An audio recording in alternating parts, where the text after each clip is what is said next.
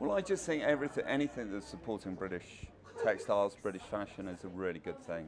And we're 40% produced in the UK, and that's really good. We try very hard to do that.